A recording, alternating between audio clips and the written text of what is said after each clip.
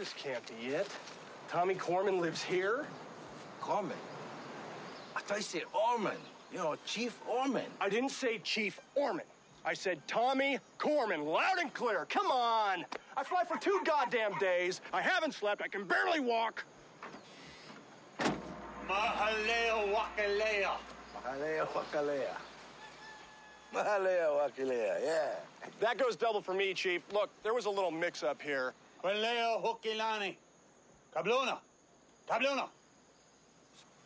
Kabluna. Cabrona. Listen, Mahi, I don't have time for this horse shit.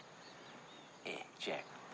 No make insult for the chief, okay? This man get plenty influence in this place, you know. Influence? He lives in a shack! He's a man of great simplicity. Come on, you spend 10 minutes with a guy, okay?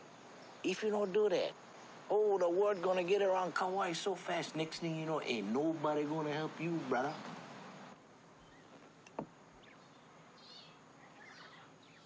Parakeet brandy. Are you serious?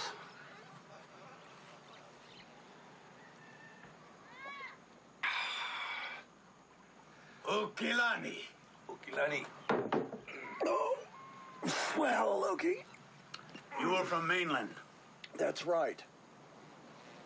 Do you find Chief Orman attractive?